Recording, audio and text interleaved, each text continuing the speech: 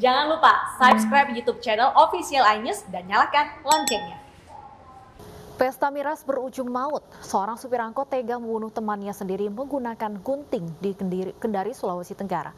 Korban yang mengalami enam luka tusuk sempat dilarikan ke rumah sakit, namun sayang nyawanya tak bisa diselamatkan karena pendarahan hebat yang dialaminya.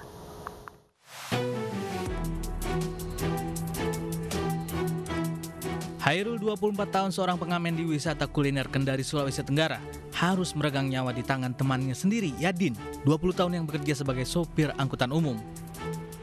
Peristiwa berawal saat keduanya bersama teman lainnya tengah berpesta minuman keras. Lantaran mabuk, keduanya kemudian terlibat cekcok dan berujung pada penikaman. Korban ditikam pelaku menggunakan gunting sebanyak enam kali. Meski sempat dilarikan ke rumah sakit Santa Ana, namun nyawa korban tak dapat diselamatkan akibat mengalami pendarahan hebat.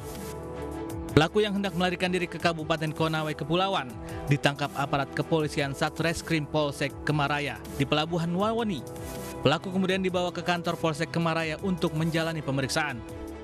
Habis kejadian setelah uh, terjadi penusukan itu tersangka sempat uh, melarikan diri, uh, kemudian korban dibawa ke rumah sakit Santana tempat dilakukan tindakan oleh pihak uh, rumah sakit namun tidak bisa ditolong.